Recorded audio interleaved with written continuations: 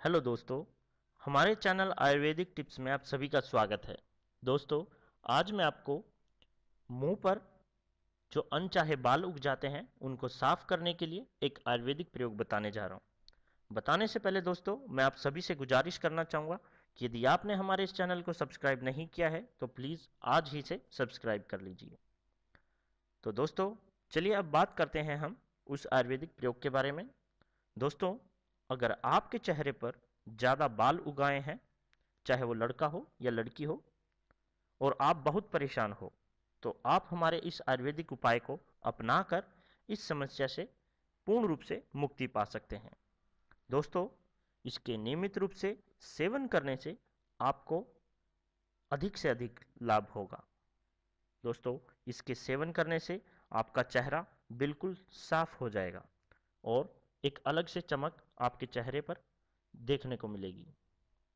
तो दोस्तों, इसके लिए आपको क्या करना है? दोस्तों, बिजोरा नींबू की जड़ का चूर्ण ले लीजिए आप 10 ग्राम। घी, मैनसिल और गाय के गोबर का रस कुछ मात्रा में ले लीजिए, ताकि जिससे जो ये लेप है, वो अच्छी तरह से घुल जाए और तैयार हो जाए। तो दोस्तों, जब लेप अच्छी तरह से तैयार हो जाए तो इसे आप मुँह पर लगा लें। सूखने पर इसे कुछ समय बाद आप इसे ताज़े पानी के साथ आप अपना जो मुँह है, वो धो लीजिए। तो दोस्तों, इसके नियमित रूप से सेवन करने से चेहरे की शोभा बढ़ेगी और चेहरे पर चमक आएगी।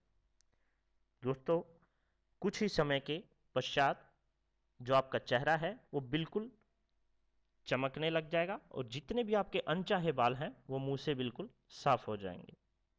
तो दोस्तों, बहुत ही आसान और असरदार प्रयोग है।